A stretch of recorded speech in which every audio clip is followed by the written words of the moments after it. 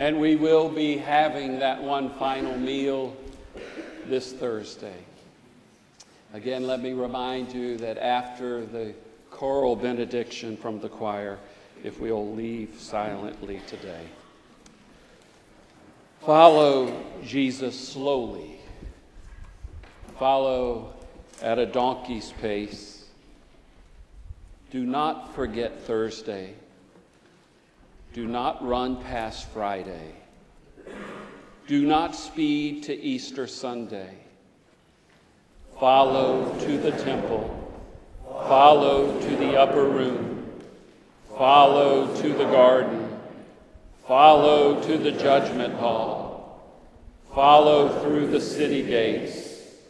Follow to the cross. Go giving thanks that Jesus did not raise an army, draw a sword, or run away to safety. Go giving thanks that Jesus trod the path of peaceful love to the bitter end. Go in the Lord's peace.